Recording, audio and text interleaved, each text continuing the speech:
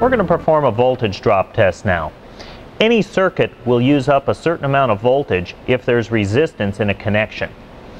To do this, we're going to connect to the negative or the black lead up to the negative post of the battery.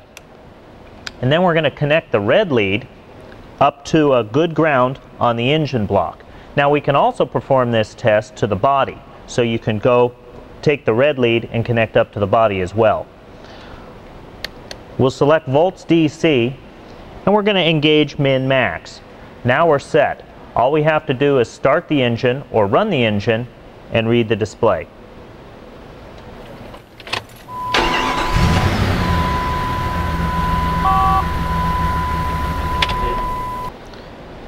Now by pushing the min-max button one more time, we'll read the maximum voltage that was dropped across the connection. Now in this case it's 4 tenths of a volt. Now remember, we're not measuring resistance. We're measuring the effect of that resistance on the voltage that's lost in that connection. Now 4 tenths of a volt isn't bad for this because we had a lot of current flowing to initially start this engine.